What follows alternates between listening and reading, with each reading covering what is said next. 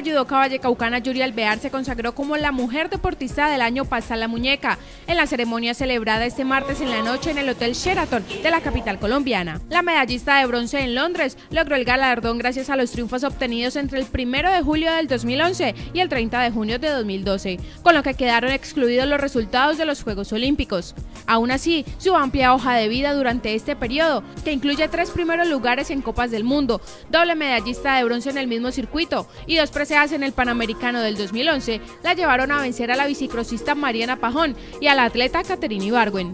Inicialmente fueron 12 deportistas postuladas a obtener el premio. Luego el grupo se redujo a tres, donde Yuri Alvear fue la escogida por los periodistas, el público y el jurado.